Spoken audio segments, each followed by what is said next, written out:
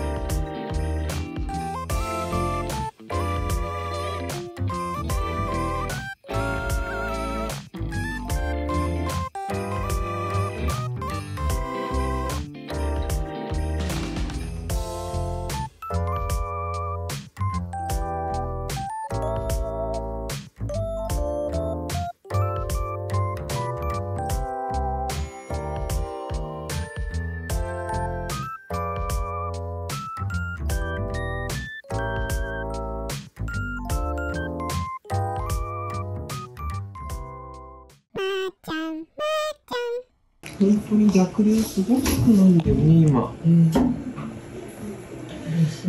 ねえ、一時のこと考えたら、まあ、レントゲンで見ても、一応今、同じ倍率で見させてもらってるんだけど、前々回、前回、今回、ここに映ってるのが心臓の影なので、まあ、今日が大きいっていう感じはしないと思うんだよね。むしろなんか、ちっちゃく見えるよね。確かに。うん、正面の写真で見ても前々回前回今回、まあ、前回が一番ちっちゃく見えるけど、まあ明らかに今日が一番まあこの角度で言ったらもう一番右が少し大きく見えるかなとは思うんだけど、まあレントゲンで見ても心臓のサイズが膨らんでるっていう評価にはならないですね。で一方で見てもこの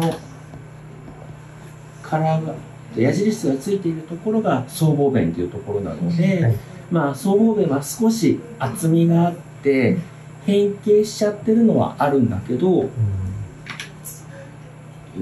前に比べたら本当に逆流がねちょっとここはチカチカチカチカ緑に光るとは思うんだけど、はい一時みたいにもううわって漏れてる感じはないんだよね、だから本当にまろみちゃんからしたら今多分あんまりこうなんだろう。えなんで検査してんのって本人は思ってるかもしれないけどね。まあでもいい感じで来れてるから、はい。あのまあはいなんだろうこっから一気に悪くなることはちょっと考えにくいなとは思うけどね、うん。なので心臓のサイズも本当にいつもぐらいなので、今日測らせてもらったけど下手したら20ミリ切るとこもあったけどまあ大体この心臓の幅が20ミリなんだよね。でまあ前々回が21ミリ。前回20ミリ台今回も20ミリ台だから、あの心臓のサイズとしてはスリムになったまんまうまく落ち着いてるっていう評価だから、まあ少なくとも病状としては今しっかりコントロールできているよ一時悪くなってたところはあの中の数字だけ見ればあの心臓のサイズもちっちゃくなってるから、まあ、今のお薬は多分まろみちゃんにはすごく合ってるんだと思うから、まあ、このまま続けといてもらったら今年多分10歳ぐらいだよね。そうですね。そうだよね。なんか、やっぱり10歳前に病気発症しちゃった子って、ちょっとやっぱり不安はあるんだよね。うんその10歳に向けてどんどん悪化していくグループもいて、10歳ぐらいで命を落としちゃう時もあるんだけど、まあ、あの、彼女に関しては、うまく病気をこうコントロールできてるっていうふうに、今は思ってもらっていいと思うけどね。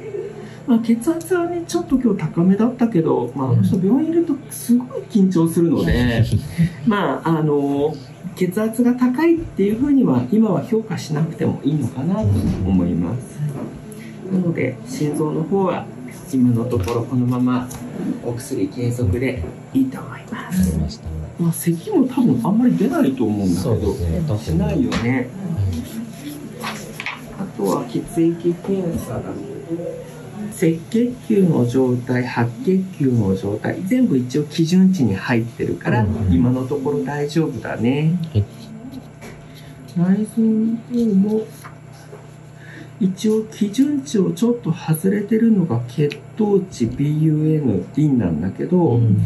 まあ血糖値はおそらく緊張性だと思う、うん、まあ一応糖尿のリスクがないわけじゃないけれども、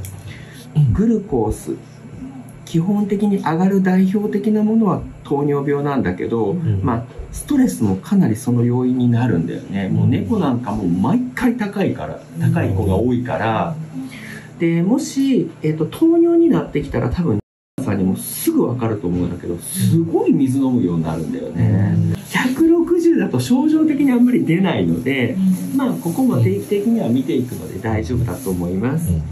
で逆にこの BUN これが少し高くなってるんだけど BUN が高くなる理由はまあ一番脱水が多いんだよね。まあ、あとは腎臓病心臓病とかあるんだけど、まあ、心臓は今あの今までより悪くなってるってことはないから、心臓性はないんだよね今は。であとは腎臓性か脱水なんだけど、まあ、もし腎臓性だったら普通クレアチニンっていうのも腎臓病を反映するのでこっちも一緒に動いてくるからこっちが動いてないんだったらこっちかなさっき言ってたみたいに、まああのー、彼女がお気に召すような感じだったら飲むけど、まあ、冷たかったら私いいですって感じだと、まあ、特に今日とかは、ね、病院来る前にお水飲んでくれないと少し体の水分が不足する可能性はあるのかなと思うので今はどちらかというとこっちかなと思うので一応検査終わってからすぐお水だけはあげてます。で、あとはまあいつも、あの、まろみちゃんが唯一いつも引っかかっちゃうのがリンなんだよね。で、リンもやっぱり今回も一緒ぐらいだけど、うん、まあ大体今までの傾向を見てくるともう2年前から同じぐらい。まあ最初の検査が2.0なんだよね。うん、で、今日と一緒だから、まあその後正常になったり、ちょっと引っかかったり正常になったり低かったりをずっとこの辺でうろうろしてるので、うん、まあ輪に関してはまあもちろん1とかになっちゃったらさすがにまずいかなと思うけど、まあ2ぐらいだったら彼女のこう平均ベースというか生活に支障はないだろうと僕は判断してるので一応今日の検査で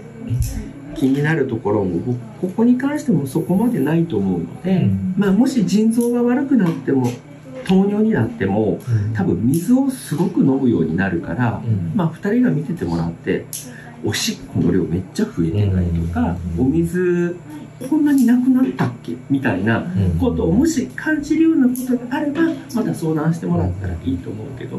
まあ、そこまで大ごとになることはないんじゃないかなと思います。